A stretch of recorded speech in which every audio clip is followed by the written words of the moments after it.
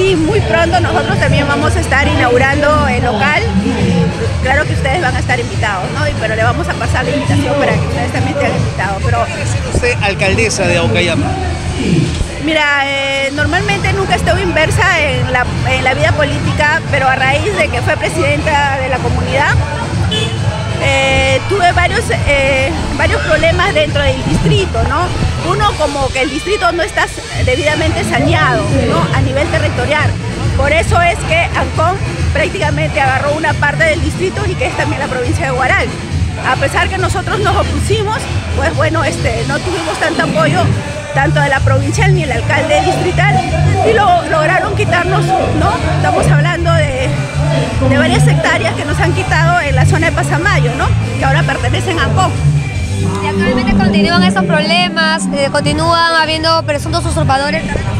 Claro, a raíz de eso tuvimos problemas de invasión, ¿no? Otros problemas que tenemos grave dentro del distrito es el saneamiento, ¿no?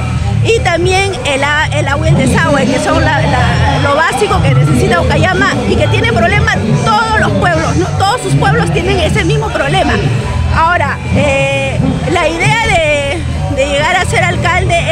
Cómo sanamos primeramente el, el, territorio para por luego proyectarnos en cada, en cada zona cómo vamos a desarrollar los proyectos.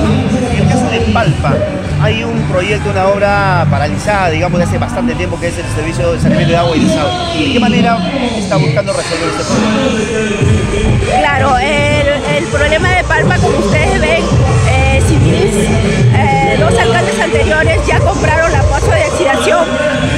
mismo problema, no está saneado. Es el saneamiento físico legal que necesita el terreno para poder sal salir el proyecto, ¿no? Entonces, si no está el terreno saneado, ningún proyecto va a salir adecuadamente para hacer el trabajo completo, ¿no? Con todo el presupuesto completo que necesita cada zona, ¿no?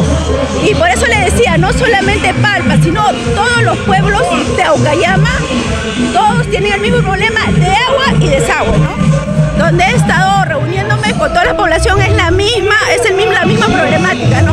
Y lo que nosotros queremos ver es el saneamiento y también el desarrollo integral, ¿no? Porque se está desarrollando Ucayama de forma desordenada también, ¿no? Entonces hay que darle todas esas cosas, hay que tratar de sanear antes de que Ucayama siga creciendo de forma desordenada, no hay zonas de que sean industriales, no hay zonas. Entonces la idea es llegar a la alcaldía para pues mejorar la calidad de vida de los aucayaminos, ¿no? En conjunto, ¿no? En el caso del proyecto arqueológico de Chicras, se encuentra abandonada. ¿Cuál es su posición y de qué manera busca apoyar desde el municipio este proyecto arqueológico?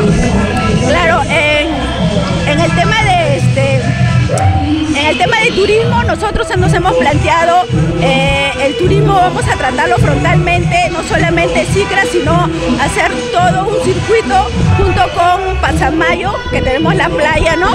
Y eh, durante eh, los recorridos dentro de Ocayama tenemos, tenemos zonas este, también turísticas para hacer todo un recorrido, ¿no? Y que sí vamos a ver toda la parte turística y sobre todo ambiental también, ¿no? Porque lo que tenemos en Ocayama también tenemos variantes, bastante problemas de aguas hervidas. Eso es lo que se va a adversarios políticos y a la población que de repente no piensa como eh, en apoyo a tu candidatura?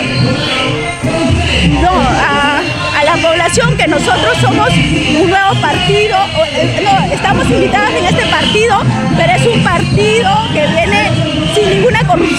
¿no? Y por eso hemos aceptado la invitación a pertenecer al partido. Ahora, este, lo que decimos a la población es que se vaya sumando porque nosotros eh, se ha acostumbrado a no prometer, nosotros no estamos prometiendo nada, lo que vamos a hacer es como nuestro lema, no prometemos, trabajamos y cumplimos, ¿no? Ese es nuestro lema, no vamos a prometer nada que no vamos a cumplir. ¿Para qué fecha tienen pensado inaugurar su local en Caucayama, ha dicho? Después de las inscripciones, ¿no? Después que nos inscripciones. ¿Más o menos la quincena de mayo o en junio no, no, estamos en junio, porque primero nos inscribimos porque ahorita todos somos precandidatos, ¿no?